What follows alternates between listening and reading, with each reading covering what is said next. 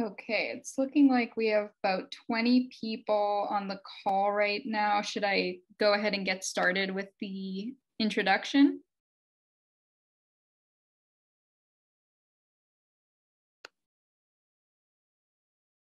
Sounds good. Okay.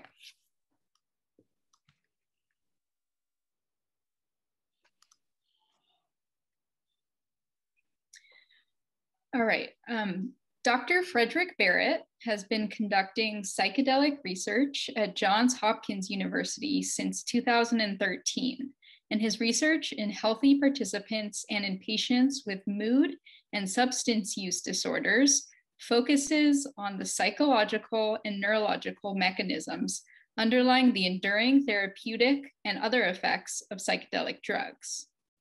In 2017, he received an NIH R03 grant to investigate biological mechanisms of psilocybin effects, the first federally funded research since the 1970s administering a classic psychedelic to people with psychedelic effects as the primary focus.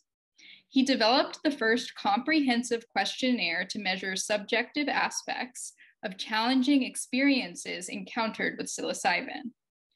He also published the first studies in humans characterizing the enduring effects of psilocybin on the brain. The effects of psilocybin on a brain structure called the claustrum, which has been proposed to variously mediate consciousness and cognition, the effects of LSD on the brain's response to music, and the effects of the atypical hallucinogen, hallucinogen salvinorin A on human brain network function. He is currently leading a clinical trial to investigate the use of psilocybin to treat patients with major depressive disorder and co occurring alcohol use disorder. And he is leading a number of ongoing studies aimed at better understanding the psychological, biological, and neural mechanisms underlying therapeutic efficacy of psychedelic drugs. So, without further ado, I'll hand it over to you, Dr. Barrett. And um, for the people who are attending, we will um, let we'll have some time at the end for a Q&A. So during the presentation, if you have questions, you can put them in the chat. Hi, uh, thank you so much, Nicole, for the invitation and for the for the kind uh, introduction. Um, I uh, I'm going to basically give a, a, talk that's very similar to the talk that I gave um, to uh, the the uh, Carta Symposium, Altered States of the Human Mind, Implications for Anthropogeny. Um, uh, hopefully, not assuming uh, that anybody has a particular level of expertise or understanding of this stuff. And I, uh, I'm going to apologize in advance if I if I let the jargon get the better of me. Um, please do, you know, feel free to ask any questions or ask for any clarifications because I do enjoy trying to translate into you know out, out, of jargon into regular you know english uh, and and um, uh, i'm just going to try to give really an overview of um, of psychedelic research as it stands uh, now. Um, there are, uh, you know, yeah, a lot of uh, programs of research either really just getting underway or, or beginning to blossom around the world, including a number of places in California. Nicole and I were just briefly chatting about the three separate research centers in the Bay Area that have recently been announced, and, and also one at, at UC San Diego um, that is really exciting uh, time to be involved in this research. Uh, and frankly, I'm just kind of grateful to be involved in it. It's uh, there's just so many questions to ask, uh, and and and and and uh, it, it kind of gets me up in the in, in, the morning sometimes knowing that if if if we all do our duty and do our due diligence as scientists we may actually end up helping a lot of people which is uh, not something that anybody should take for granted uh, especially scientists in psychology and psychiatry. Um, okay well, that's enough of me babbling about that. Um, we're going to talk about psychedelics but but it might start it might help to start with just a question you know what are psychedelic drugs um, the, the, term psychedelic was coined by Humphrey Osmond, who is an English psychiatrist who is expatriated to Canada, who, along with a colleague, Abram Hoffer, was the first, uh, one of the first people to give LSD to patients diagnosed with alcoholism, or what we'd call today, you know, alcohol use disorder. Osmond himself had tried LSD, uh, as did, as did many uh, scientists and physicians who who um, who used LSD in clinical research in the 50s and 60s. Um, Osmond had also given a number of psychedelic drugs to various colleagues, friends, and and, and the like. He he he was known to give mescaline uh, which is a related compound to Aldous Huxley, who's a famous novelist and philosopher, who then went on to pen The Doors of Perception based on his, experience with mescaline. Um, if you if you look up uh, psychedelic in the in the dictionary, you're going to get things like sensory perceptions being altered, perceptual distortion, hallucinations, or euphoria or despair, and and yeah, these these things may uh, be kind of somewhat accurate, but it's not quite what Humphrey Osmond was thinking when he when he coined the, the term psychedelic. He was really uh, af- after his own experiences with these drugs felt that uh, psychedelics manifested an aspect of the mind that otherwise may have been either inaccessible to people, generally speaking, uh, hidden or or or otherwise, you know, kind of occulted, and and um, that's where he saw the real power of these drugs was was in this kind of mind manifesting um, uh, aspect or, or, property. Um, a little more specifically, what, what, what drugs do we mean when we, we, we talk about psychedelics? Well, the, the word psychedelic itself has, has also blossomed to become this huge umbrella. Uh, folks, folks call all sorts of drugs psychedelic, um, from the classic psychedelics like LSD and, and psilocybin uh, to, to MDMA, to ketamine, to, you know, some people even will consider uh, cannabinoids or uh, uh to be to be psychedelics. And, and while we can debate that all day and night i'm gonna i'm just gonna say up front that what i'm talking about are considered the classic psychedelics uh, at least in the context of this talk. And those include at least three different pharmacological classes. And by pharmacological classes i mean compounds that have you know, generally similar chemical structure. And those uh, included are not limited to tryptamines such as psilocybin, which is contained in uh, hundreds of species of, of, of, psychoactive mushrooms, as well as uh, uh, dimethyltryptamine and dimethyltryptamine DMT. Various forms of DMT are found in numerous plant and some animal sources, uh, such as 5-MeO uh, DMT. Um, and then we have phenethylamines, such as mescaline, which is found in psychoactive cacti, uh, as well as a whole family of uh, chemicals uh, called the 2C chemicals. One of the most infamous is 2CB. we also have ergolines, which include the infamous uh, lysergic acid diethylamide LSD, which is a synthetic compound, or also lysergic acid amide, which is a naturally occurring compound in many plant sources. Um, these uh, drugs all share the ignoble property of being Schedule One compounds, which means, as far as the DEA is concerned, they uh, are, are, rather dangerous, have high abuse liability, uh, you know, some some toxicity, and and, and no known uh, medical, no, no established medical uh, use, which um, within the next few years uh, may change, not necessarily the scheduling per se, but that last bit about known medical use.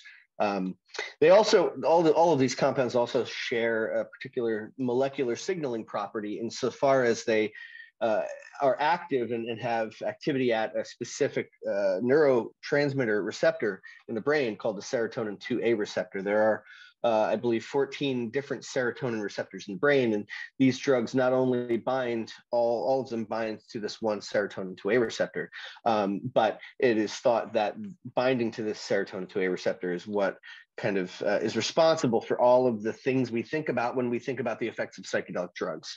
Um, and we'll get into that in a minute.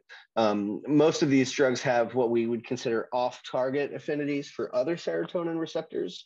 Uh, LSD is unique insofar as it has direct affinity for the dopamine 1 and 2 receptors, uh, meaning it, will directly latch onto and activate those receptors. None of the other classic psychedelic drugs will do that.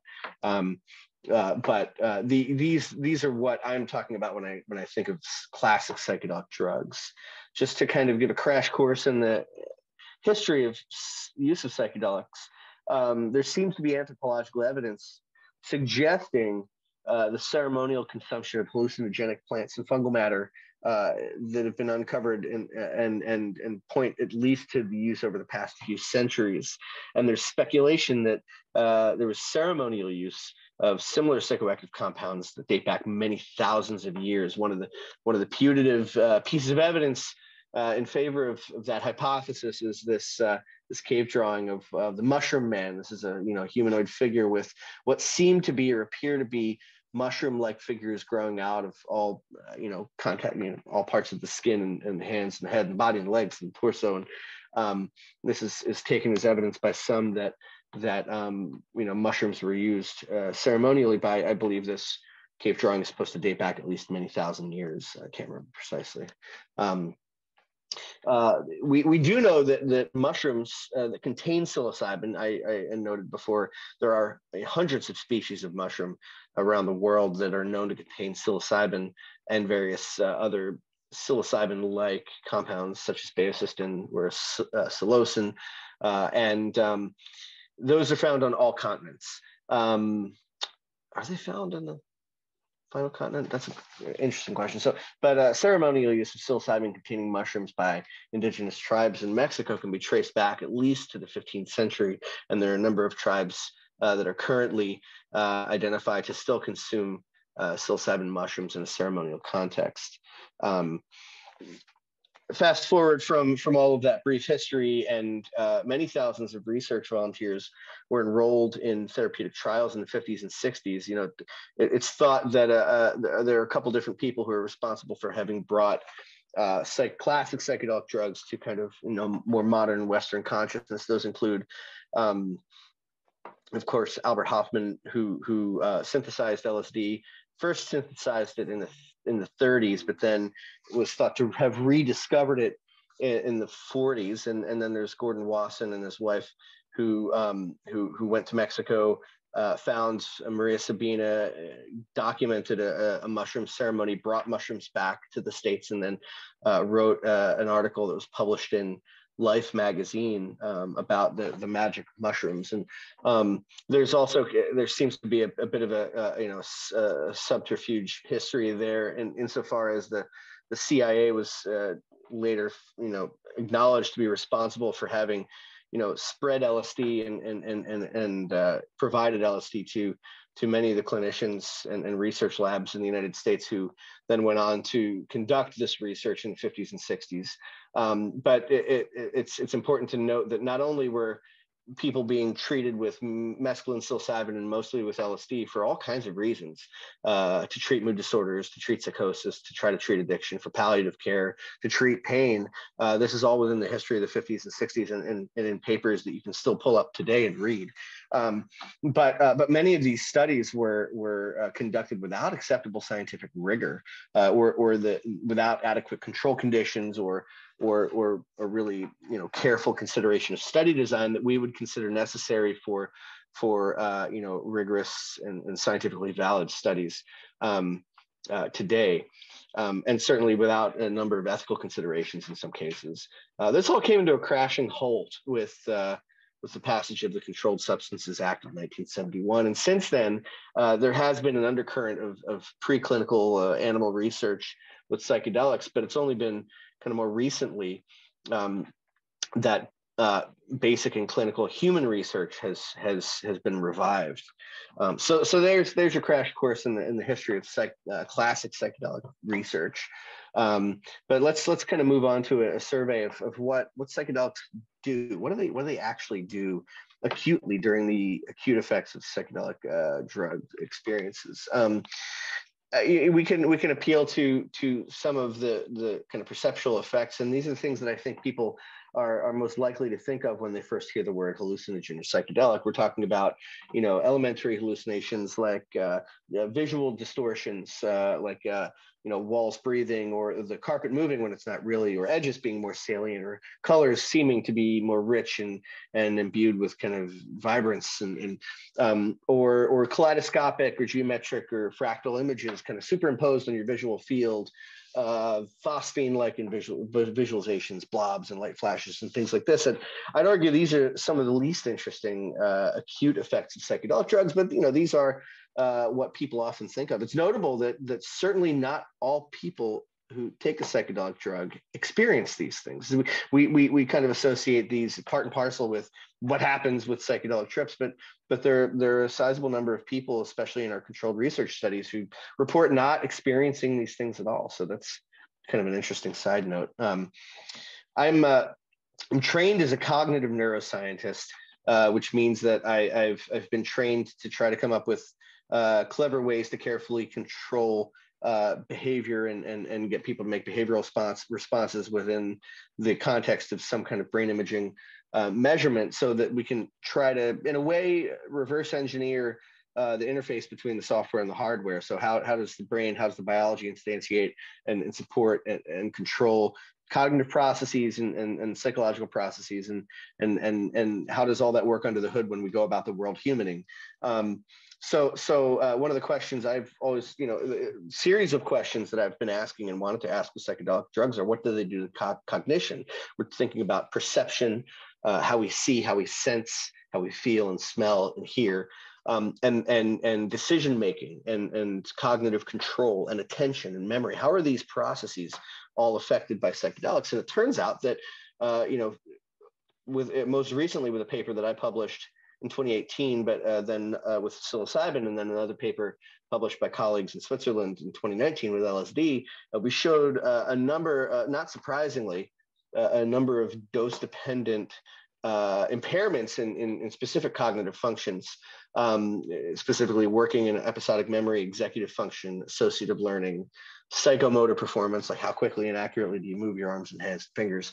Um, you know, this shouldn't be surprising uh, that but but but it's also it was a little bit surprising to us that that people were really able to can to perform uh, these these cognitive tests during even the highest dose of psilocybin that we've administered with our, within our laboratory, which is a 30 milligram per 70 kilogram dose of psilocybin, which is roughly equivalent to four to five uh, ounces of dried mushrooms, um, which is an, an incredible. It's a substantial dose of, of, of psilocybin, but even then people uh, in this study were able to perform these complex cognitive tasks uh, so it's yeah, it's notable that there are these uh, specific uh, impairments of certain aspects of cognition, but people were still able to function and do these things.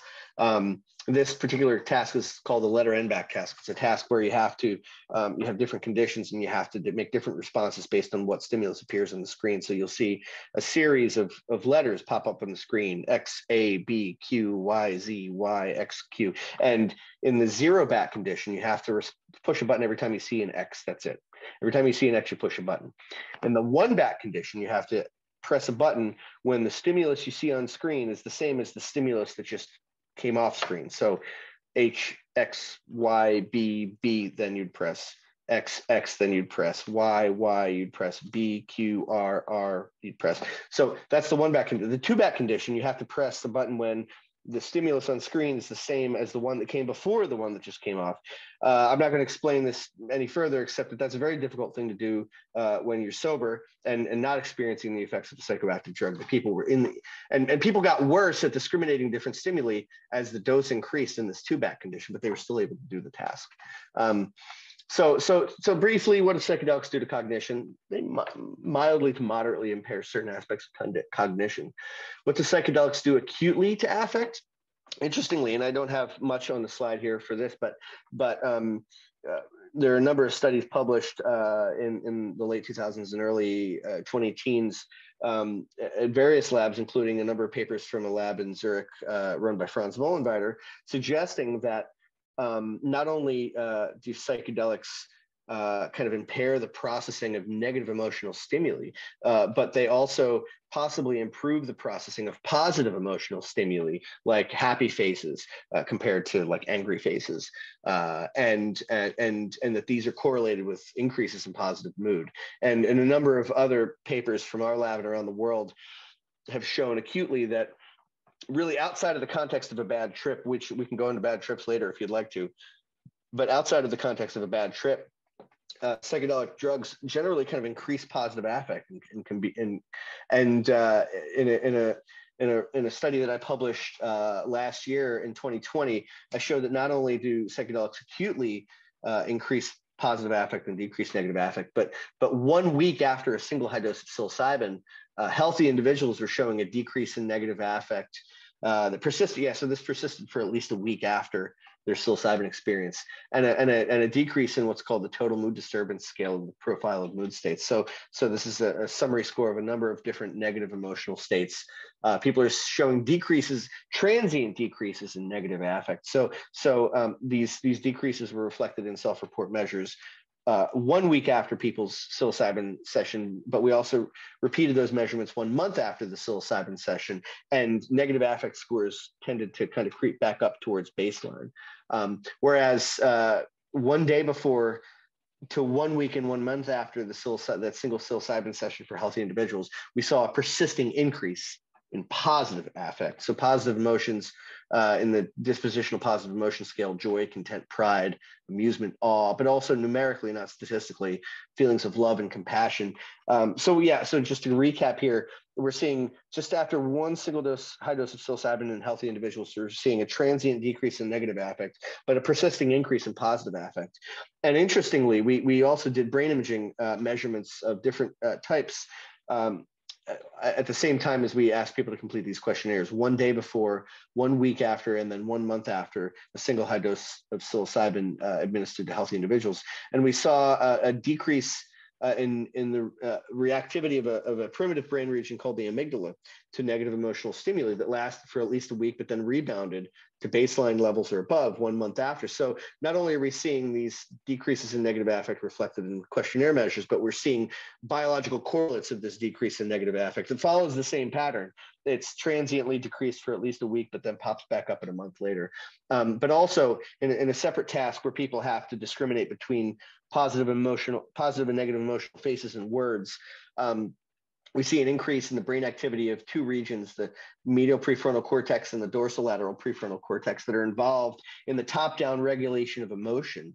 Uh, so we see that one week after psilocybin, suggesting that there are a number of different mechanisms with the brain, one that kind of controls bottom-up emotional reactivity, another that is involved in top-down control, uh, cognitive control of emotion um, that that are that are kind of uh, engaged at one week. We're seeing uh, so so a, a, brief recap here is um, we're seeing uh, transient decreases in negative emotional experiences, lasting increases in positive affect, and then associated neurobiology that can explain those things.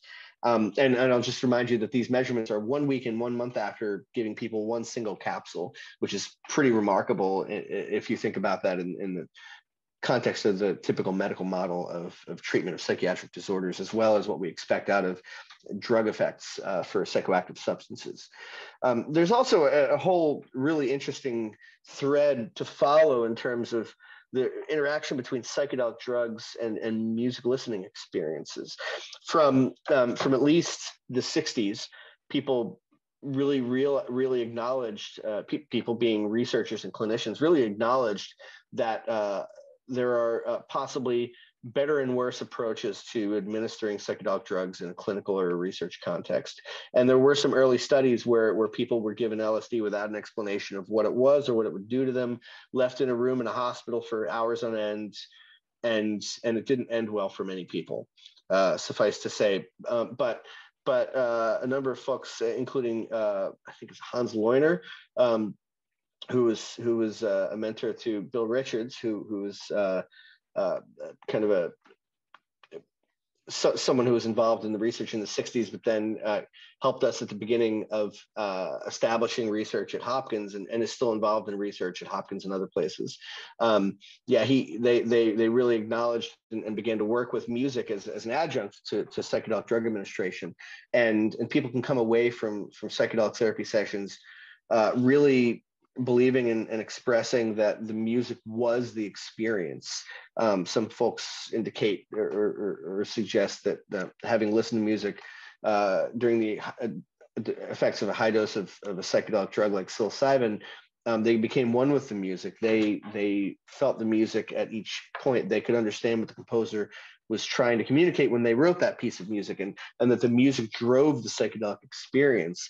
And these all you know lead to fascinating questions like well what the heck is going on in the brain when all of this is happening how is how is this reflected in the in the neural architecture of of music listening experiences when i was in grad school at uc davis most of what I did was uh, use music as a tool to study emotion and memory in the brain. And I worked with computational models of music cognition to try to explore how the brain was representing abstract time varying tonal structure of music. So music doesn't just occur at, at single time points, music evolves over time. And you can think of uh, the evolution of a piece of music over time is really setting up and then violating and fulfilling different expectancies of what notes are going to come next and what chords are going to come next.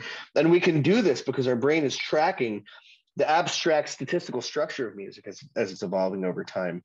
You know, if you play one or two or three chords within a certain key, your brain is going to build a prediction that other chords and notes that fit in that key will come next. And and it's it's by it's by playing with all of these statistical probabilities that the composers throughout time have have been able to build feelings of tension and release and kind of uh, intrigue and and and and all kinds of other you know experiences into the the evolution of the piece of music that they've composed.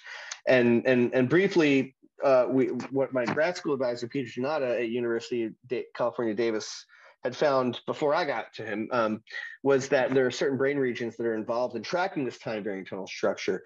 Uh, and, and some of those include the medial prefrontal cortex, which is involved in the default mode network, which is also uh, a network of brain regions that uh, we think is, is, is uniquely targeted by psychedelic drugs.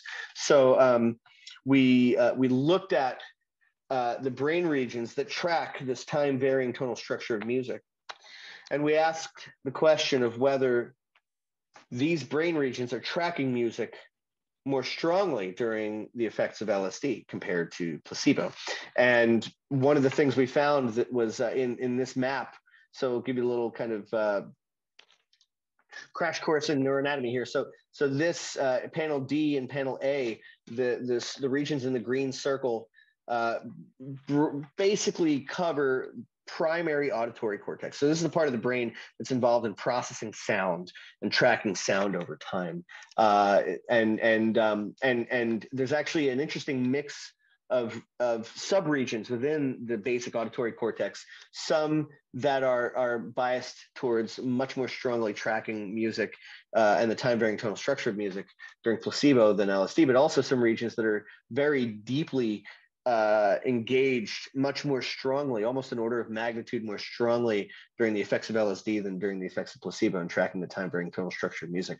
That's also true within uh, regions of the thalamus, which is kind of like a, a, a, switchboard or way station for sensory information in the brain, as well as the angular gyrus, which is involved in orienting yourself in space and time, and the medial prefrontal cortex, which is involved in uh, theory of mind as well as stitching together memories and emotions uh, as well as um, uh, yeah yeah uh, yeah pr- uh, predicting whether something's going to be rewarding or not. And and and all of these the, the, general story coming out of this is that you know this architecture underlying the processing of music and this architecture also underlying self-referential processing is is just like hyper hyper tuned during the effects of LSD. This may be one of the reasons that uh, music is, is thought to be more salient, more personally meaningful, or, or at least more deeply and richly encoded and experienced uh, during the effects of psychedelic drugs. Um, other studies I've been, been involved with have shown that uh, a brain region called the uh, parahippocampal gyrus is more, uh, which is involved in memory processing, is is much more closely connected with uh, uh, visual processing areas that, which which might uh, suggest that there, you know, this is a mechanism or this might be an explanation of why psychedelic drugs. may may drive visual, you know, music with psychedelic drugs may drive visual imagery more closely. Um, uh, and uh, so so so yeah that you know yeah obviously I, I could spend all day talking just about this uh, but i want to continue on with my kind of broad brushstrokes in, in, in surveying the literature and what people are doing what we're doing. Um, so we covered what what do psychedelics do acutely? What what do they do uh, to perception? What do they do to cognition? What do they do to affect? And what what about psychedelics and music um, but what about what about the effects of psychedelics in in in in populations of individuals who are suffering in various ways? Um, one of the reasons probably a lot of people are coming to the conversation now is because of the potential for psychedelic drugs uh, to be therapeutically meaningful and helpful within a variety of mood and substance use disorders.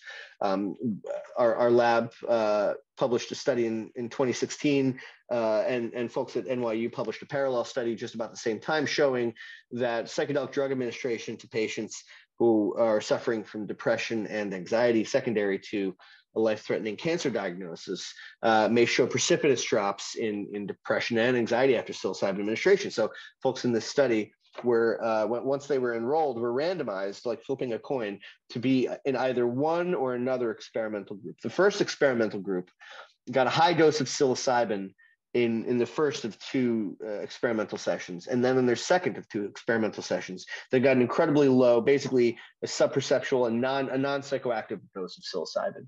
And and folks randomized to the second group got that trivial non-psychoactive dose of psilocybin first and then in their second session got the high dose of psilocybin. And we see the red line is the folks who got that high dose first and they their their depression scores as well as their anxiety scores precipitously drop right after that first session. And after the second session where they get the trivial dose, they stay low and they stay low for at least six months after their psilocybin sessions. Whereas those in the in the in the trivial dose first group, they also see a, a, a substantial drop in depression severity and anxiety severity after that first trivial dose of psilocybin. And, and this is important to note because um, when we administer psilocybin to people within research and therapeutic contexts, we don't just give them the drug and then walk away. We, we go through an awful lot of really careful screening of people to make sure it's medically and psychiatrically healthy or, or, or not obviously dangerous for us to administer the drugs to this individual. Uh, but then we also go through a period of preparation that involves a lot of unstructured psychotherapy in which we really get to know the person. We build a lot of real strong and deep trust and rapport with people. And then we administer psilocybin. And, and then during the drug, exp- the, the drug session, we, we, we carefully monitor them uh, and we, and we give them a lot of reassurance uh, and, and we sit in non-judgmental presence with these people um, uh, for for the entire day, and then afterwards we debrief. Uh, we we kind of try to reconcile the experience with the person's life. We call this integration, and then there's ongoing follow up afterwards. So there's a whole lot going on here. And and and briefly, this you know this blue line after the first session, I would argue uh, at the very least suggests that you know there's there's certainly a non-pharmacological effect. This this this represents the effect of the package within which the container within which we administer psilocybin, which is certainly non-trivial.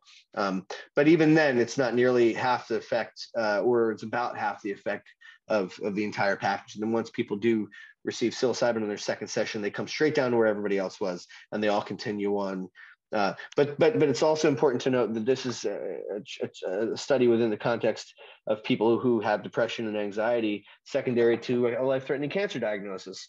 Um, other people will interpret that as kind of reactionary or you know uh, adjustment disorder. Uh, it's very different than than the depression that someone experiences uh, more organically, um, not related to something like being diagnosed with cancer. Um, in, in, a study that we just published at the end of last year in JAMA Psychiatry, uh, we showed similar uh, impressive reductions in, in, depression severity in patients with just more generally described uh, and diagnosed major depressive disorder. Um, and then this is also similar to an open label trial that was published in Imperial College by Imperial College London uh, in pa- with patients uh, in patients with uh, with treatment resistant depression. And also, I don't have a slide on this, but it, we, we need to acknowledge the amazing paper that Imperial College London published, I think just last week, uh, showing that um, compared to a six week course of escitalopram, which is one of the kind of classic and standard SSRI treatments for depression, uh, psilocybin, at the very least, was not inferior to escitalopram, but but there are many measures, secondary outcome measures in that paper where where they showed a clear um, benefit of psilocybin over escitalopram. Um, we're showing these effects in patients with mood disorders, but uh, my colleague Matt Johnson and Al Garcia um, are are published a, an open label pilot study showing um, in 2014 showing a similarly impressive effect of psilocybin in helping people to quit smoking, which was bi- biologically verified for longer than a year after their psilocybin sessions, which were paired with a target quit date. Uh, our colleague at NYU, Mike Bogenschutz, is showing some similarly impressive effects of psilocybin therapy on drinking in patients with alcohol use disorder. Um, and uh, and this comports with uh, a, a, meta-analysis conducted by Krebs and Johansson of the older literature from the 60s and 70s uh, in, in using LSD to treat uh, alcohol use disorder, and and in the small number of studies that they found that were, were, were met the bar for being rigorous and acceptable for modern research, they found an, a, an overall effect in the meta-analysis favoring LSD for the treatment of alcohol use disorder. Um, uh, it, it's it's um, it's it's it goes without saying that these are very powerful drugs, and and we're we're, we're observing all of these effects within carefully controlled experimental uh, environments where we where we have uh, a lot of power in observing and, and then responding to medical emergencies. If they occur they almost never occur. Um, and and we haven't encountered anybody who's had any persisting uh, deleterious effects of psychedelic drugs which in and of itself is really uh, remarkable. But but this isn't to say that these drugs aren't powerful. They're very powerful drugs. And it's not to say that they're going to work for everybody and they should be administered to everybody. That's absolutely not the case. And we very carefully screen out people, uh, especially people with certain cardiac or, or psychiatric comorbidities that, that we, we think it may be very dangerous to administer drugs to these people, um, these, these compounds. Um, but within those caveats, these compounds and, and the therapeutic models around which uh, or within which they're administered may represent really powerful therapeutics uh, for a number of folks who who are really suffering and, and for whom standard therapies may or may not work. Um, I'll, I'll I'll just briefly go through some some theories on how psychedelics may do all of these things. Um, people have focused a lot on on what we can consider broadly as a peak experience with psychedelic drugs. Uh, we've operationalized these peak experiences as mystical experiences following models that have been built uh, by uh, you know starting with William James at least. Uh, with uh, the varieties of uh, religious experiences, he has a whole chapter on mystical experiences, where he begins to build the case that these experiences are are kind of defined by um, primarily by an experience of unity or a feeling of unity with self, with others, with all things. Uh, Walter Stace was was a, a, philosopher of religion who built upon and expounded and, and, and, expanded upon that model, and and and and the mystical experience kind of operational definition is is is largely based on this. Um, but uh, but an, another kind of operationalization of, of this peak experience, which which is is favored by by a number of folks in Europe, is this ego dissolution idea. Um, first introduced by Dittrich, uh, who who tried to create this five dimensional altered state of consciousness questionnaire that he hoped would be sensitive to all forms of altered states of consciousness, no matter the ideology, whether they were uh, drug induced or induced from exercise or sensory deprivation or meditation. Um, uh, and and, and our, our, colleagues at Imperial College kind of built upon this idea of ego dissolution uh, and, and, and they now have an ego dissolution inventory. Frankly, all of these questionnaires are very highly correlated. Um, and it, it's, it's unclear whether the, the real um, subtleties of the differences between these scales will ultimately matter. But uh, suffice to say, we've demonstrated that mystical experiences follow a, care, uh, a clean and orderly dose-dependent response, such that such that the higher dose of psilocybin you administer, the more likely people are to have a stronger mystical experience. Um, and, and strength of mystical experience has been correlated with retrospective ratings of the meaningfulness of the experience, the spiritual significance of the experience. And, and let me just note that that some people coming out of high dose psilocybin sessions in carefully controlled environments in our laboratory are, are rating these experiences as among the top five most meaningful or the single most meaningful experience of their life, among the top five most spiritually significant or the single most spiritually significant experience of their life. That alone is remarkable. But uh, and and and and strength of mystical experience is correlated with these ratings, but strength of mystical experience is also correlated with uh, the degree of reduction of depression and anxiety in our patients uh, with cancer, um, and also uh, is correlated with change in craving, change in confidence to abstain, and change in the temptation to smoke in in Matt and Al's uh, smoking study. So uh, that's that's fascinating that that this measure of, of a peak experience could in any way be correlated with the therapeutic outcomes that people encounter. Um, another another uh, so so so it could be that there's something unique about this peak experience that drives or facilitates or helps people to maintain a change in their life where they were not able to find that change before.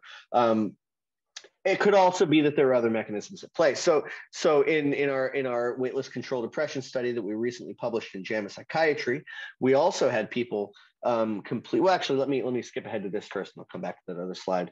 Um, it may be that, mystical experiences uh, predict changes in depression, but but my colleague Alan Davis uh, has been hard at work trying to really characterize insights that people can gain during these experiences, and had the hypothesis that insights and not mystical experiences were what actually was driving you know therapeutic change uh, in, a, in a large survey study that we conducted uh, alan and i and roland um, actually demonstrated that it's not acute mystical effects and it's not actually directly uh, insights but it's insights that people gain during these experiences that are predicting later increases in psychological flexibility and these psychological flexibility increases are what more directly predict changes in depression and anxiety after a psychedelic experience. So, so it may actually be that changes in psychological flexibility uh, are, are what are underlying these therapeutic effects. So, both mood and substance use disorders can be characterized as disorders of limited behavioral repertoire. You get stuck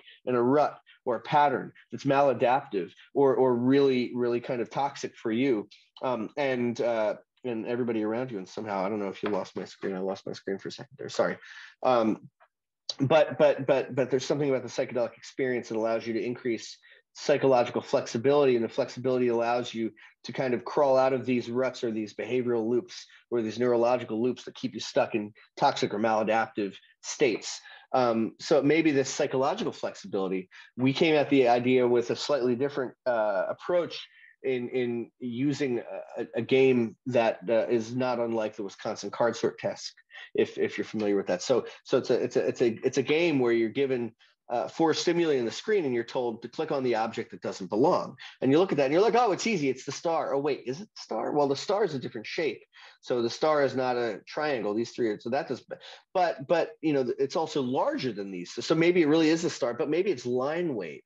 You know, this one's different than the other three because the other three have small line weight and this has kind of thick line weight. So, so part of the test is figuring out what the rule is. And then once you figure out what the rule is, you can respond using that rule. But after a certain number of correct responses, the rule changes on you without you knowing. So you have to figure out that the rule changed. And then you have to figure out what the new rule is. And then once you respond with that new rule a certain number of times, the rule changes again. And then you're like, oh, crap, now I have to figure out the new rule. And this is used as a measure of cognitive flexibility the measure of cognitive flexibility is actually something called perseverative errors. So once you learn a rule and the rule changes, how long do you perseverate on the old rule before you explore and then go find the new rule? Uh, that that number of perseverative errors, the greater the perseverative errors, the less cognitive flexibility you're thought to have. This is just one measure of cognitive flexibility. There are lots of ways to conceptualize and operationalize cognitive flexibility. But with this one operationalization. We showed um, in our in our depression study, half the people in, in our depression study were uh, randomized to have immediate treatment with psilocybin. The other half were randomized to wait eight weeks before they started their treatment for psilocybin. And eight weeks is just about how long it took for the first immediate treatment group to get to the four week post psilocybin time point. So so um, those who received psilocybin first immediately saw a drop in their perseverative errors, which we interpret as an increase in cognitive flexibility. Those who did not get psilocybin first stayed uh, at that high level of perseverative errors. And once they got psilocybin, they dropped down to the level of perseverative errors that that immediate treatment group uh, had once they received psilocybin. So we're seeing a decrease in an increase, a decrease in perseverative errors and an increase in cognitive flexibility, which may align in some ways with psychological flexibility. Um, so it may be that there's this kind of flexibility aspect that's underlying the therapeutic effects of psychedelic drugs. Um, I want to I want to skip ahead a little bit uh, because I realize I was supposed to give a 30 minute talk and we're already way ahead of that.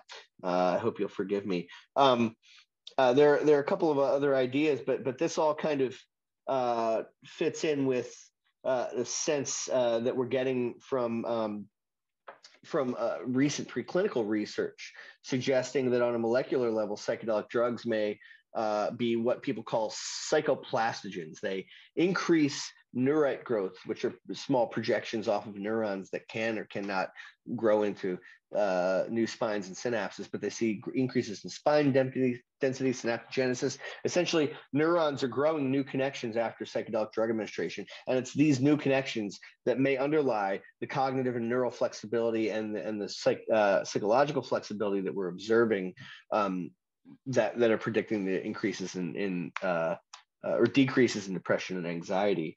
Um, all so all of this is is is really fascinating, and and and there are a couple things we didn't cover, such as uh, you know theories of of the acute neural effects of psychedelic drugs. Uh, there's one theory out there that um, that mystical experiences or ego dissolution experiences are actually uh, a, a, function of decreases in the activity and connectivity of something called the default mode network. This is a network of brain regions that are involved in self-referential processing, orienting the self in space and time, autobiographical memories. Um, that could be the case, or it could be the case that decreases in default mode network activity and connectivity are an artifact of the experience that aren't necessarily exactly what leads to ego dissolution. So to put it in a broader context, these default mode network uh, in the brain is, is a network that was found to kind of turn on when we're not attending to stuff outside or having to respond to things. Um, but once we have to do something like, which think of it as a task positive activity, once we have to do something out there in the world, respond to a stimulus, process incoming information, our default mode network turns off and all of these other task positive attention and memory and executive control networks they turn on um, and that's a general property of, of, of, these brain networks that's broadly understood and, and, and it's it's not a perfect anti-correlation but generally speaking when we have to attend to stuff out there and do things um, our default mode network turns off and these task positive networks turn on. But when we turn inward or we rest or we're told to just sit there close your eyes for a moment and do, do anything our default mode network comes on and our task positive networks turn off. And it's possible that instead of d- directly driving ego, ego dissolution this reduction in default mode network activity could be a product of your brain having to cycle through different task positive cognitive states to address all the crazy stuff that's happening during a psychedelic experience all of the visual visualizations that you're experiencing all of the tactile information that's coming into your body all the thoughts you've had and, and, and the kind of projection and, and and and and thinking about your your past maybe maybe not it, it might be that the default mode network looks like it's turning off because your brain is cycling through all of these different cognitive states more rapidly during a psilocybin experience another theory of the acute effects of psychedelic drugs stems from a theory of the neurobiology of psychosis which suggests that the thalamus which i briefly touched upon a little earlier uh, the thalamus is is is like a way station. It's like a, a, filter for sensory information, and and it and it it almost like puts up a gate and only opens that gate for certain parts of sensory information to then get passed on to the cortex uh, to then the rest of your brain to be processed and attended to.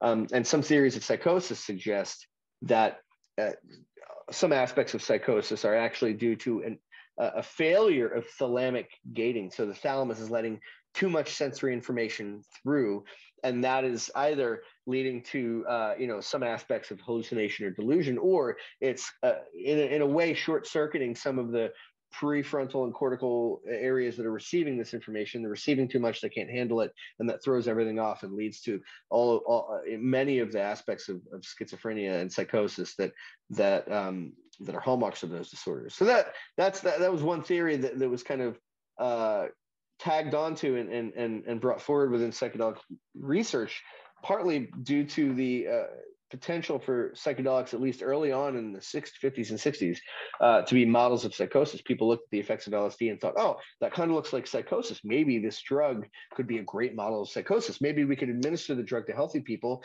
in a reversible fashion. They'll be better when it's over. But while they're under this acute state, we can have a much greater insight into psychotic process and then learn a lot more about psychotic disorders. At one point, I think Humphrey Osmond himself even thought, wouldn't LSD be an interesting tool for medical trainees, for people who are being trained in psychiatry?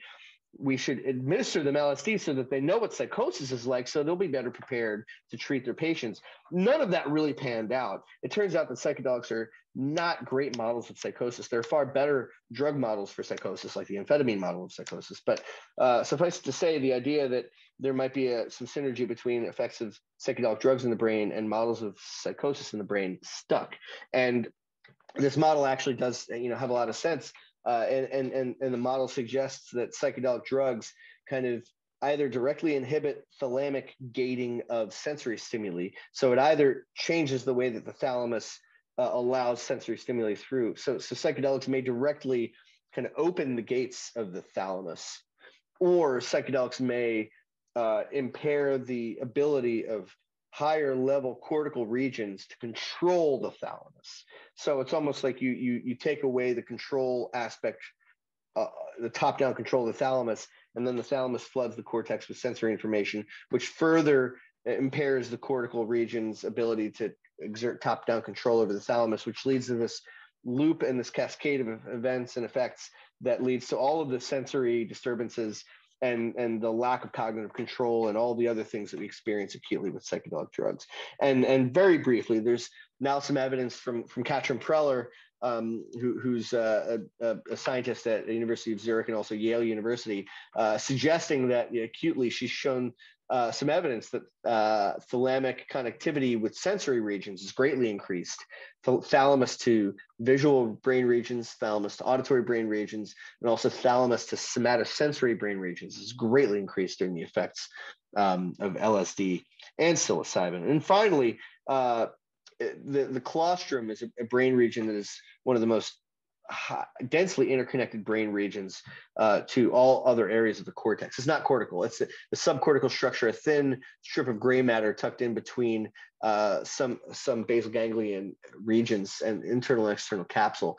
And uh, this this brain region uh, was was unique in, in its hyperconnectivity with all other regions of the cortex, and and so much so that uh, uh, Francis Crick of DNA fame, uh, in his final uh, scientific uh, paper, uh, co- co-written with Christoph Koch, they they both looked at this claustrum region. They said, okay, well, it's it's connected. It's bidirectionally connected with almost every other region of the brain. If there were to be a brain region that was responsible for stitching together uh, the continuous percept uh, of, of, of multisensory information, thoughts, and decisions that we all experience uh, as awake and living beings. You know, if, if there was one brain region that was responsible for stitching together the conscious percept, the claustrum is perfectly positioned to be that brain region. And and and and if you haven't read that paper you should go and read it. It's really interesting. I think they're wrong and i think we figured that out more recently. Um, if, if if if such a brain region were to exist and if such a brain region were responsible for stitching together conscious percepts uh, you'd expect this brain region to be continuously active in awake and behaving mammals and it just turns out to not be the case. It's it's very uh, seldom active and, and very transiently active. And in, in, a, in a paper that I, I published uh, with colleagues at University of Maryland, uh, we, we developed um, a method for analyzing human brain imaging data to try to interrogate claustrum activity and functional connectivity. And we found that the claustrum was really only active at the onset of really challenging blocks of tasks. And, and, and we're building a, a theory that the claustrum is actually involved in coordinating uh, the the the organization of, of brain networks. So when you're doing one thing, your brain your brain may be in a certain network state to, to to to efficiently respond to that thing that you're doing. But when you have to switch tasks and do something else, especially if it's a much more challenging thing, then you, the claustrum will come online briefly to reset and reorganize the brain uh, network state so that it can so that it can respond to this other task. Um, the claustrum is also a unique brain structure in so far as it uh, is one of the brain regions that most densely expresses serotonin 2A receptors that are the target of classic psychedelic drugs. They also really densely express kappa opioid receptors, which are the target of atypical hallucinogens like salvinorin A. And um, just briefly, we've we've shown uh, in a paper published last year that uh, psilocybin greatly reduces claustrum connectivity to task control networks, as well as the default mode network and auditory networks. Uh, we also showed that this uh, connectivity of the claustrum to default mode and task control networks was correlated with the integrity of those networks. So essentially, the less claustrum connectivity to these networks, the more these networks fell apart under the effects of psychedelic drugs. And I don't have a slide on it, but we're briefly showing some similar effects with salvinorin A, which is a completely different mechanistic drug uh, that has hallucinogen-like properties. So we're we're starting to dig into whether these effects are unique to classic hallucinogens or not. Um, and and sorry, I've went way over time, but but I just want to kind of ask a question about consciousness now, uh, which is probably why maybe maybe why a lot of you came. Um, lots of people have made promises about psychedelics, uh, specifically that psychedelics will teach us something about consciousness or even teach us something that we don't already understand about the brain or about the psychological processing. And and i i guess i want to throw just a little bit of cold water on that. I want to ask us to be a little more precise in what we think we mean when we say when we use the c word. Um, we can we can we can at a, at a, very high level we can think about hard versus easy problems of consciousness right? And and the hard pro the classic hard problem of consciousness is roughly you know, how can this subjective experience arise from matter? How can the felt sense of being exist? Where where does it why how what is it and and and and, and why would it ever arise from a biological process? I frankly don't and and and i don't believe any of my colleagues uh, i uh, would say that they do think that psychedelics are going to crack that nut. Um, I, I, think that you know what psychedelics are, are, are more likely to be able to be useful for is as a tool to try to get better resolution uh, or deeper insights into what may be the easier problems of consciousness like what are the contents of consciousness and how does the brain represent the contents of consciousness and, and what's accessible to conscious awareness and how does that affect conscious processing and, and psychological processing and neurological brain i think these are all well within striking range for psychedelic drugs. But I also think they're also well within the range of other methods and approaches and tools and manipulations and that we can use to interrogate these processes that we have within the palette of of, of tools and, and, and, and instruments within neuroscience, psychiatry, and psychology. Um, and, and when you say it that way, it makes psychedelics sound not so special. And I guess I guess I yeah, I kind of agree with that in a way. I think that it's very likely that psychedelics are are much more powerful interventions than we typically have at our disposal and for that reason alone are incredibly important i do think we're going to learn some new things about the brain i just don't think it's really quite happened yet um, and and and and I, I i don't think there's any reason to think that we're going to crack the hard problem of consciousness. What I what I honestly think is that when people say psychedelics are going to teach us something about consciousness, I think when people are using that word consciousness in that context, sometimes they're kind of low key relating their own experiences. Like I think it's possible that psychedelics can and and maybe have certainly um, maybe certainly uh, uh, given individuals insights into their own aspects of consciousness that they weren't previously aware of. I'm totally on board with that. And I think that might be what people mean often when they say that psychedelics are going to teach us something about consciousness. Um, so, so in a way, I completely disagree. And in a way, I totally agree. It all depends on what we mean when we use that tricky C word. Um, but uh, I've, I've, I've spent plenty of your time. Um, I'm really grateful uh, for your attention and, and I'd, I'd like to, you know, just, yeah, talk about whatever it is you, you'd like to talk about in this space.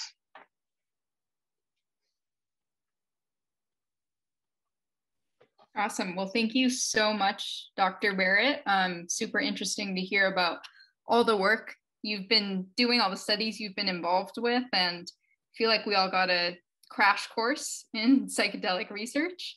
Um, I'm now going to turn it over to Dr. Fadel um, Zeidan. I hope I pronounced that correctly. There are several questions in the chat, so um, I'm hoping he can lead a uh, discussion for us. Thanks. Hey, Nicole. Fred, that was, hey, man, that was freaking hey. killer talk. Awesome. Thanks, uh, man. It's, it's good to see you. It's really, yeah, it's great. It's great to share at least some cyberspace uh, with you. Um, and you guys, congratulations on the new center. I don't know if you've, I don't I, I missed the introduction, but you guys landed what, like $20 million to start the best well, okay, cool, 17.86. Cool yeah. okay, 17.86 million dollars or something crazy. to start the first of its kind psychedelic research center. And it happens to be at a flagship program like Johns Hopkins. And Fred is right in the center of it all, as you could see it. So, and he's a super humble dude too. So I just want to give you kudos for being pioneers. And uh, we're just following you guys' trail that you've blazed. So, so well, I, well, I yeah, thanks. go ahead. And and yeah, no, no, thanks, thank you so much. It's, it's incredibly kind of you, and and and uh, I don't I don't want to uh, at all diminish from from from the huge milestone that you all have experienced recently, and, and being able to establish at least a name, right? But I but have you have you gotten funding yet for for for psychedelic research at UCSD? We we received uh, 1.7 or something to do uh, psilocybin brain imaging for phantom limb pain and we're using that's, that's amazing. model. we just cut and paste. Well, and what, what better place to do it? Uh, yeah, and, and then that's nothing. That's nothing to, to, to be shy about. That's an incredible uh, achievement. So I'm, I'm grateful for you guys, and I can't wait to see what, what you guys do. Cheers, man! It's a dream come true. Um, so so without any further ado, I think what I'm reading from from the queue uh, in the chat is there's a, there's a heavy heavy interest in in in microdosing microdosing in enhancing awareness, microdosing and facilitating performance mentally, physically, metaphysically. Um, can you speak to what you would consider a the appropriate dosage for what is quote unquote a microdose? How what you know of it, what it is particularly effective for? Can it access or change contexts of consciousness and so on? Yeah, no, that's that's excellent, timely, provocative, and uh, and and and please uh, bear with me and, and and be kind in my response because um, if so so yeah. Side note, I I my my computer really actually took a died a couple days ago, and I'm on a brand new computer, and I haven't actually transferred everything over to my new computer. I, I would honestly take a moment to walk you through the recent uh, empirical evidence uh, for or against microdosing. Um, but but you'll just have to take my word for it and then go look at some papers. Um, all of the studies that have been published to date on microdosing suggest a big fat whopping nothing burger. Eh, it, they're, they're, they're, the, I believe that the only actual empirical evidence for an effective microdosing is a slight deficit in, in, in detecting emotional faces suggested by, I, th- I think it was uh, out of Harriet de Wit's lab at University of Chicago, but just about everything else has has shown a whopping no effect of microdosing on anything. Um, uh, there was a there was a paper published uh, by Neiloufar Family and the folks at Eleusis, um, and and it was really clever marketing, and I, I give them props for it. They the paper was was basically shown as you know, uh, no risk of microdosing in, in healthy populations. And the no risk is actually more accurately interpreted as no effects at all. There could be no risk because nothing at all happened. They, in their paper, published and reported on a very small segment of the massive battery of assessments that they levied in this in this rather well powered study, if you ask me. Um, and and they found absolutely nothing. Uh, Neiloufar, I, I, she's a wonderful person and, and she's a great scientist, and, and she presented these data at the first meeting of the International Society for Research in Psychedelics, which was I think 2019 in New Orleans, and wow, we, what we didn't predict from from from that point forward. But um, yeah, yeah, she she was very open about nothing, nothing at all happen, you know, having having been found. And and so so can, can I recommend a, an appropriate dose of microdosing? Absolutely not, for a couple of reasons. One, you know, I I, I can't recommend that you go out and take uh, you know illegal drugs. Uh, uh, so for whatever I say, I'm just you know be, being uh, uh, uh, honest in, in in protecting my it's, my own it's illegal in here. some places in the states it's not so it's it's federally it's federally illegal so right. if you find federally, yourself in a context that's right if you find yourself in a context where where it's legal to take uh, you know a, a psychedelic drug uh, then by all means microdose because we don't think there's any reason to think it'll hurt you. It probably won't help you either, uh, at least with this the empirical evidence that we have. What what, what was interesting uh, most recently was the paper published uh, by Imperial College London, uh, a citizen science paper where they where they kind of gave people instructions on how to self blind and and do and do a self blinded study of microdosing, which I thought was fascinating. And and and and they had people complete a number of different outcome measures along the way, and and the outcome of that study was that um, placebo uh, doses seem to be uh, just as effective in in in in, in um, mediating mediating outcomes as as as what we think they were administering with microdoses, and and I, I think overall the whole thing. Uh, really sounds and feels and smells like a huge placebo effect and and and and i, I want i want to just you know be a little humble here because i know people are you know if if you've ever heard the name james fadiman he has made it his mission over the past you know at least five or ten years to go around the world collecting stories of people who swear by and and and are completely convinced by their benefits of psychodo uh, of microdosing psychedelics. And and uh, i also i also realize i'm being rather you know aggressive in in in, in pouring cold water on this thing. And i i that, that's completely unfair to, of, of me in, in a way because there are people who are completely convinced of, of the benefits that they've experienced from microdosing. I just have to say that the scientific evidence right now doesn't support it. And, and it might be possible and it might be possible that the tests that people are using aren't sensitive enough to the effects that microdosing does have, or or that we're not looking at the right clinical populations to understand the effects of microdosing in those clinical populations. All those things may be true. And if I've offended you by saying this, if you believe you've been helped by microdosing, I, did, I didn't say this out of any anger, or angst, or, or, or personal vindictiveness. I just, we don't have any evidence yet.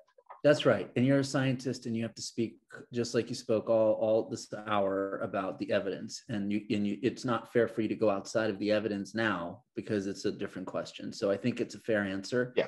A legitimate one. And so it leads me to a bridge question that asks Do you need the psychoactive experience for the benefit? Or can you just inject me with a shit ton of psilocybin and then put me to sleep on propofol and would would would I still have the benefit? Yeah, man, uh, that this is these are the there there there are actually you know I'll say this is the billion dollar question. There are like actual market valuations of companies uh, that the the the, the, the, the yeah there, there's there's an actual market value to this question. Um, briefly, um, I think most in our lab would say, yeah, the, this the experience is, is part of the medicine, and uh, a number of other folks are are spending an awful lot of money, time, and effort trying to figure out if they can come up with compounds that are non psychedelic psychedelics that do the same thing, and uh, you know, I, ho- I hope this doesn't sound like a cop out, but we don't know yet, and I'd be very happy for the answer to be you don't need this psychedelic experience. But the reason being that um, I can tell you from personal experience, having run now multiple studies uh, with with psychedelic drugs, and I'm not even talking about the, the headache of the DEA and the FDA and the IRB regulations and stuff like that, um, which is you know I, I just I just just uh, last week enrolled my first person in a in a large uh, clinical trial in patients with major depressive disorder and co-occurring alcohol use disorder. That was the middle of April, and I, I, I made my first uh, regulatory submission in February of 2020. So that's how long it takes uh, the flagship university in the United States to get a study off the ground. Um, uh, needless to say, that's a lot of work.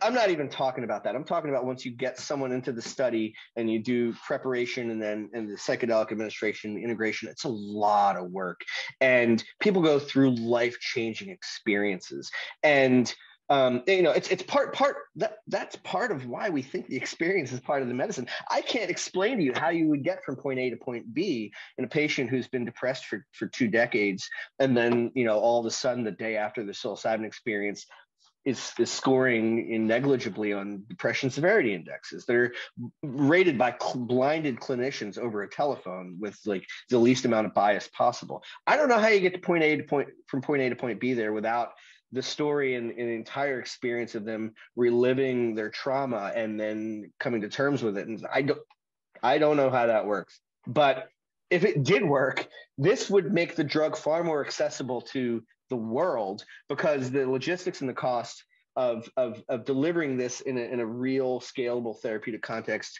are it's just, it's, it's, it's, it's kind of pithy to say it's not trivial. It's it's a huge burden and barrier, and then it will be a barrier to delivering these things. So I'd love the answer to be you don't need the psychedelic experience, but I also don't believe that's going to be the case. And also there, there's you know some some of the context on uh, some of the comments on Twitter have been like, why are you scared of this? why do you want to get rid of the psychedelic experience? What's wrong with that? Isn't aren't we aren't we going through some kind of patholog patho pathologization? Uh, sorry, you know the word I'm trying to I think you're, here. going, I Um, think you're on the right path. Yeah. yeah, yeah. Why are we why are we pathologizing this experience? Yeah, yeah, yeah, yeah. There you go. Um, sorry, I, I'm talking a lot. no, you're good, dude. No, this is good. This is good, and I think I think that's a great answer because actually we don't we don't actually know, and I would agree with you too that the experience is critical to some of the traumas, especially with the hero dose, some of the doses that are being elicited in the laboratory setting.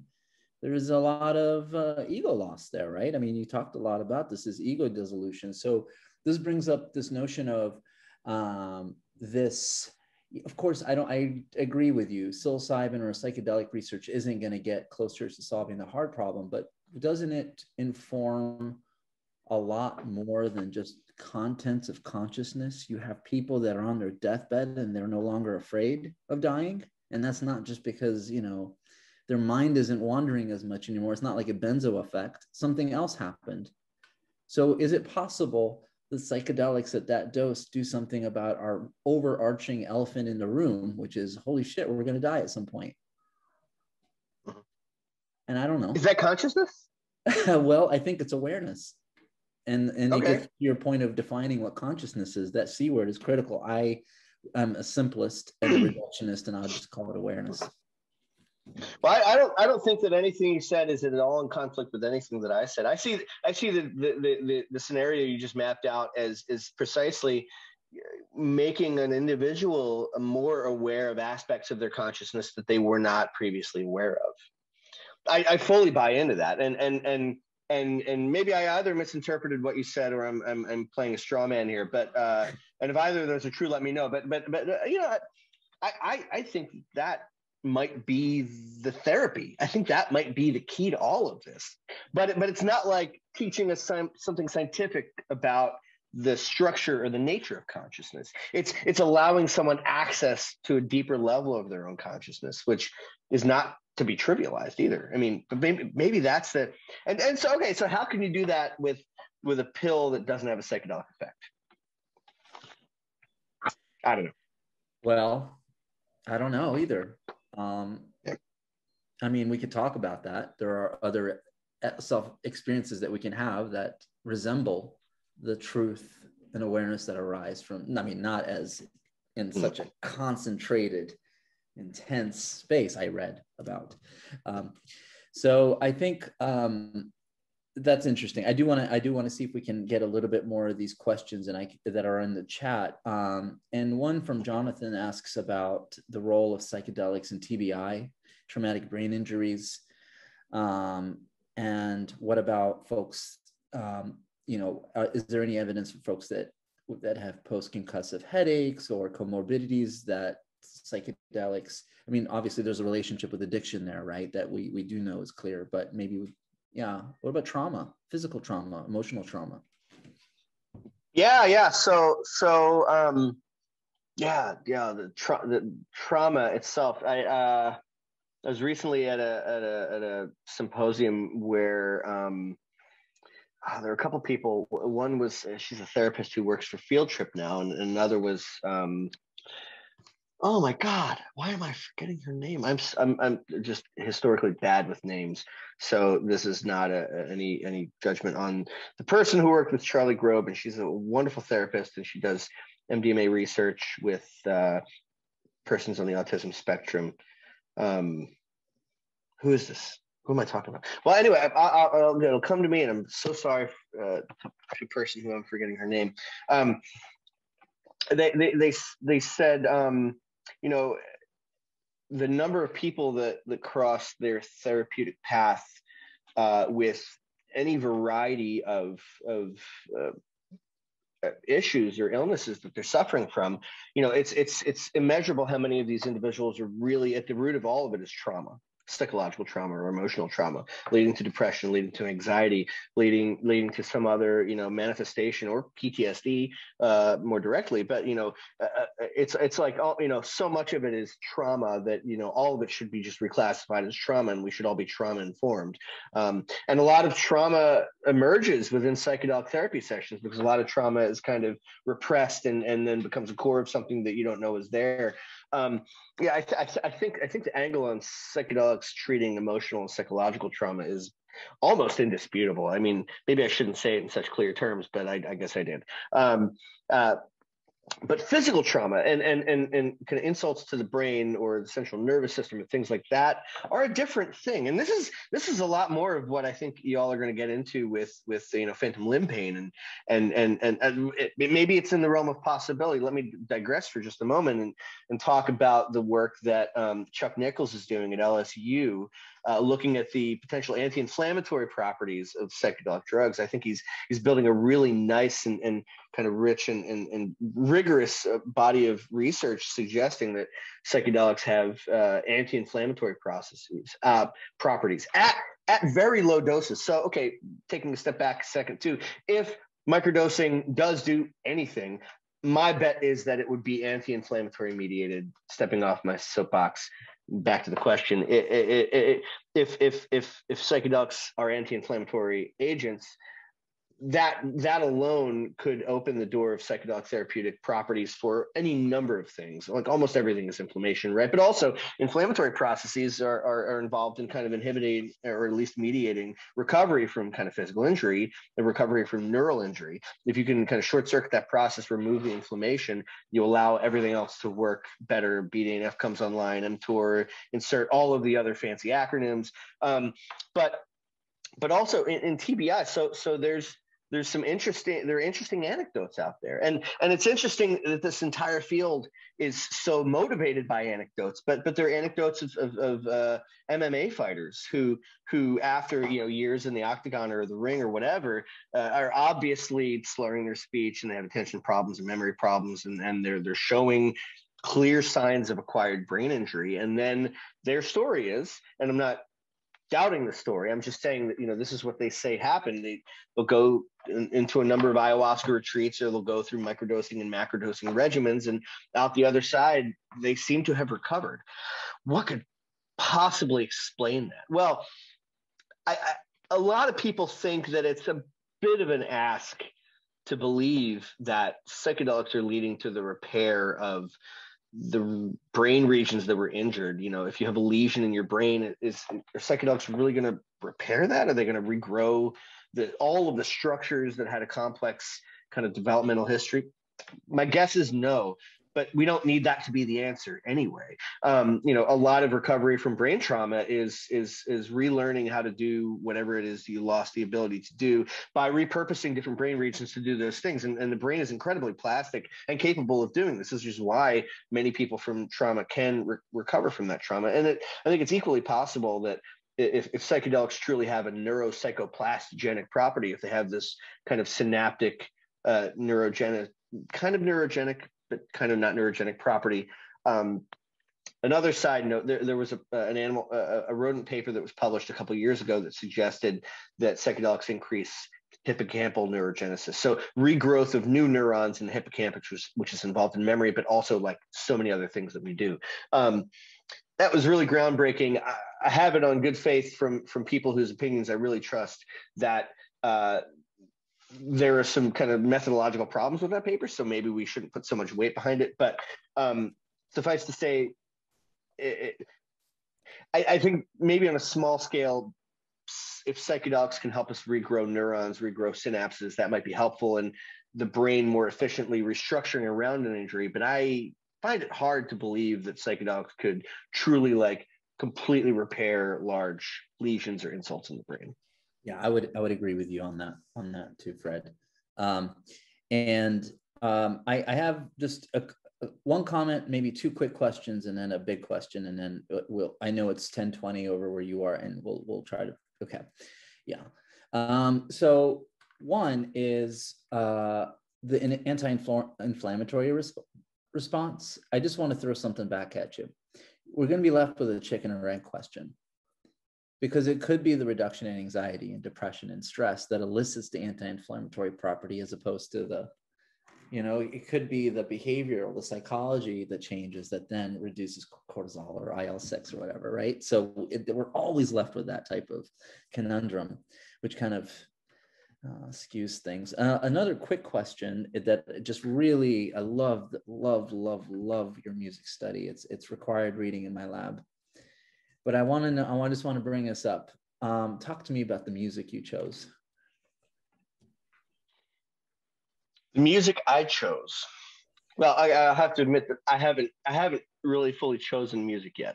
Um, uh, for the study, for the study. For yeah. So so um, yeah. Uh, wait, which which study? Which study? The study where um, you integrated psilocybin with music listening. Uh, the the the cerebral cortex paper or yeah. the wait with the brain. The one that um, you found it, it was this title slide that said, "What do psychedelics do to music?" Which made oh, me yeah, yeah, of, yeah. which made me think the other way around. Actually, what does music? Yeah, yeah. So, so again, full disclosure, I didn't design or conduct that study. Um, uh, Franz uh, uh, Katrin Preller, and and Markus Herdener uh, designed, conducted, analyzed, and published that study. And I was able to do a secondary analysis on those data to publish the paper that that uh, we're we're talking about now. So they chose they chose the music in a certain particular fashion. So so they chose music that that was they had participants uh, self select music that was personally meaningful to them. Um, and then the, the researchers went out and found music that was matched by style, genre, and general age, uh, but that the individuals in the study uh, endorsed as not being meaningful to them. And then they had this completely third set of like Franz told me it was like just a bunch of prog rock that um that nobody in the study liked but he loved and that was their like third condition and and so you had like personally meaningful music matched music and then like generally stable uh neutral music. Everybody heard the same exact prog rock uh, but every, uh, all the other the, the, meaningful and then the matched non-meaningful music was was individually generated playlists. So separate playlists for every individual. Um, that actually matches in, a way the work that i did in grad school using music as a tool to study emotion and memory in the brain at uc davis um, we would actually choose music using this algorithm uh, that uh, on average, you know, 30% of the music evoked an autobiographical memory with people within people. Uh, another 30% of the music was on average familiar but not autobiographically salient to people, and then another 30% of the music uh, yet was was neither familiar nor meaningful nor familiar nor autobiographically salient to people. And and it, it, it's it's in it. The key to a couple of these studies is is really trying to select music that is or isn't personally salient to a person. Um, uh, we haven't done that yet within within uh, our psychedelic studies. The, the, music that we've played for people under psychedelic drug effects, by and large, was music selected by uh, uh Bill Richards. Uh, it's mostly Western art music, um, and uh, it follows this this kind of progression of drug experience that was mapped out by Walter Pahnke and Helen Bonny in at Maryland Psychiatric Institute in the 70s and or 60s really, and then published in the 70s. And and um, you know, Bill follows this this um, formula that is based on lots of assumptions about what the arc of the psychedelic experience is, and then what music should be optimal for a person when they're experiencing this arc of a psychedelic experience. And um, I hope I'm not talking in circles here. One one of the things that I really learned in grad school was uh, probably obvious to most people who spend about five minutes thinking about it. We all react to music differently. We have these tricky things called preferences and idiosyncratic relationships with music that don't follow our preferences. But like, you know, I I hate country music, but when I hear that one song, I'm just brought back to like senior prom and I danced with my crush and oh my god, it was amazing. So I hate country music, but I'll listen to that song. Um, you know, uh, music is complicated because people are complicated. Uh, you can't play the same music to every single person that comes through a study and expect them to all have the same experience. And that's pretty clear. It's pretty clear that that happens in our psychedelic studies where we play this general musical playlist that, that's built on mostly Western classical music. People have very varied uh, experiences when listening to that music. Uh, one of the studies that I want to run uh, involves building personalized playlists uh, for people uh, to to go through this um, musical experience. And, and and full disclosure, I'm a scientific advisor for WavePaths, and one of the things that WavePaths is doing is trying to come up with personalized music for psychedelic sessions. I'm not trying to sell you anything here. Uh, uh, but but there essentially there are a lot of ways to address this problem. One of the ways that WavePaths is doing it is with generative music that has never been heard before because it's novelly composed by algorithms for each individual session. But on the complete other end of that spectrum is having someone come up with a personalized playlist of real, real um, popular music, uh, you know, that's been you know recorded and produced, uh, and, and and that's an incredibly hard problem to solve though, because. Uh, part of what we did in grad school was try to select music that the person didn't tell us to select because it's much different. If, if, if you give me a list of music and, and I say, what's your favorite music?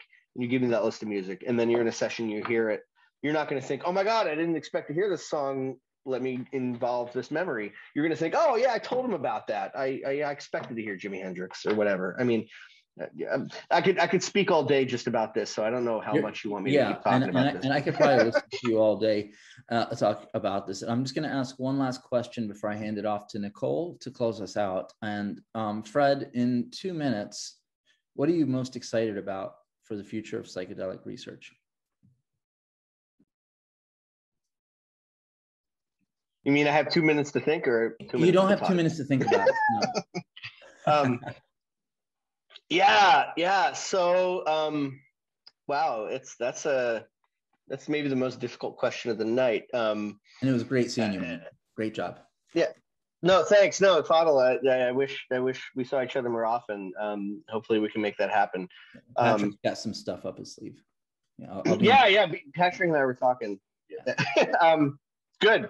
Uh, yeah. So, so, I mean, it's it's it's it's it's invigorating and it's it's humbling to see how you know how many incredibly hardcore and and and brilliant people are getting involved in this so just that alone is really exciting and and and and and I frankly I'm I'm I can't wait to see what we do learn. As much as I kind of threw cold water on the idea of cracking the hard problem conscious, I think there you know there there are many multiple careers worth of excellent questions to ask here um, and and and i i'm grateful for the the collaborations that I'm, i've already struck up with people and then all the collaborations that are yet to come um, I, I'm, I'm excited at the prospect that uh, at the end of all of this we might actually help somebody um, when I was in grad school studying music, uh, I'd go to parties and tell people what I did, and they're like, "Oh, that's so cool! I love music." And then we'd strike up a conversation.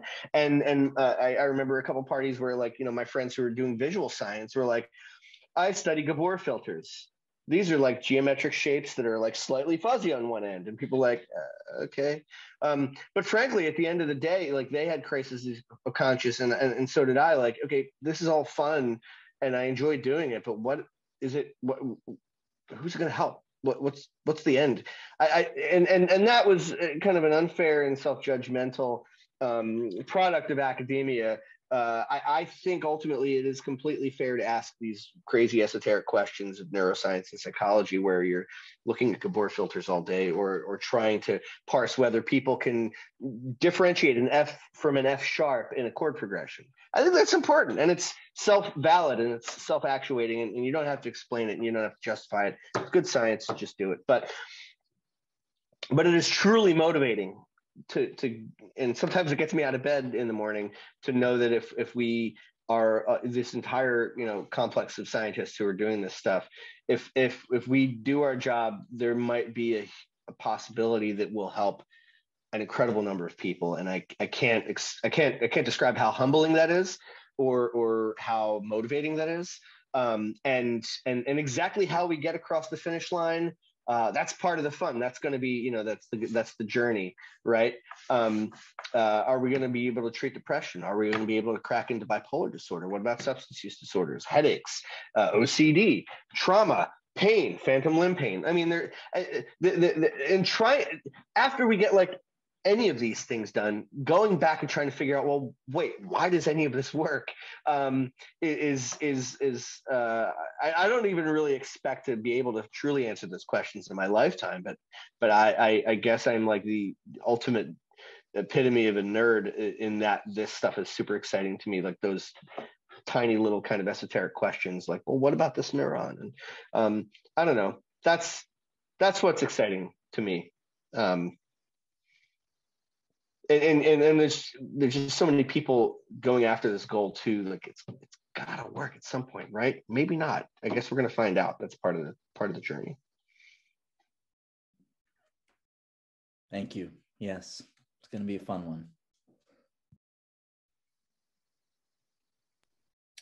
Okay, great. Well, um, I know we didn't get to all the questions, but this was a very interesting discussion. And thank you again, Dr. Barrett, um, for the presentation. Um, thanks for spending your evening with us. It was an honor to have you. And uh, thank you, Dr. Zeidan, for moderating the discussion.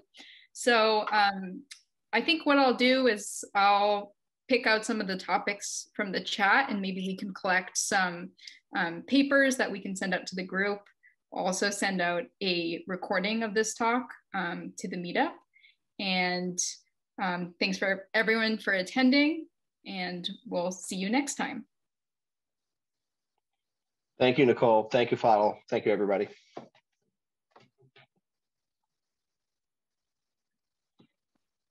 Thanks.